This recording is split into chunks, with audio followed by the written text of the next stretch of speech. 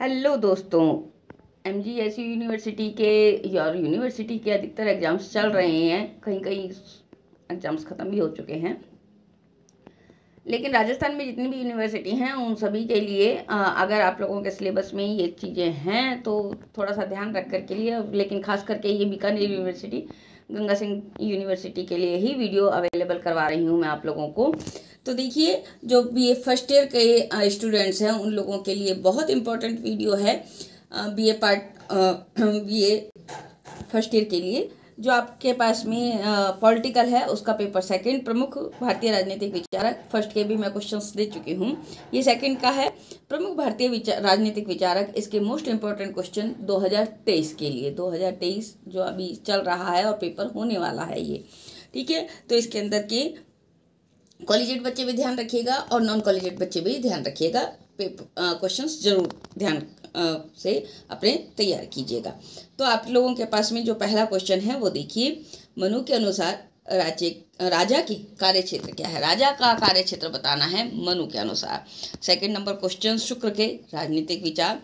Third number question राज्य की उत्पत्ति उद्देश्य व कार्य क्षेत्र के संबंध में कौटिल्य के विचारों का वर्णन। चौथा क्वेश्चन है राजा राम मोहन राय के राजनीतिक विचार।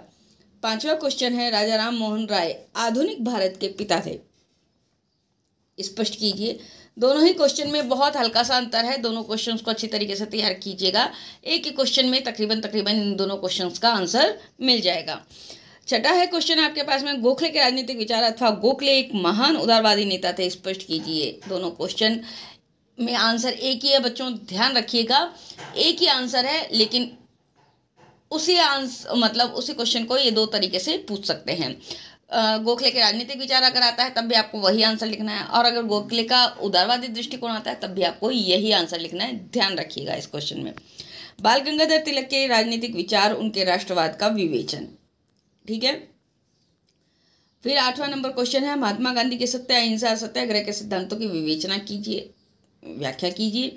यह आठ नंबर क्वेश्चन है आपके पास में। नौ number question, M N Roy के नव मानवतावाद को स्पष्ट कीजिए।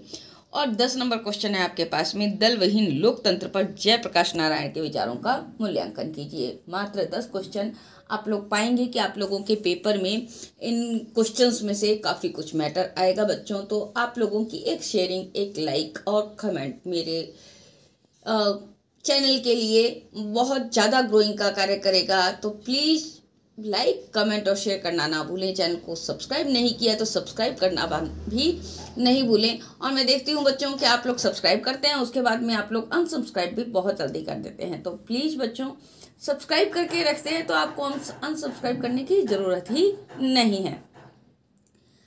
सब्सक्राइब करने से आप लोगों को फ़ायदा ये होगा कि आ, हमेशा जो भी मेरे वीडियो होंगे उसके नोटिफिकेशन आपको समय समय पर मिलते रहेंगे और आप अगर आपका जो उस क्लास को पास आउट करके जा चुके हैं तो आपके रिलेशन में, आपके दोस्तों में कोई भी होगा तो उसको आप उस वीडियो से आप उसकी हेल्प भी कर सकते हैं। तो प्लीज़ लाइक करना ना भूलिए सब्सक्राइब करना ना भूलिए और कमेंट करना ना भूलिए। शेयर करना तो बिल्कुल भी ना भूलिए। आज के लिए धन्यवाद। नमस्कार।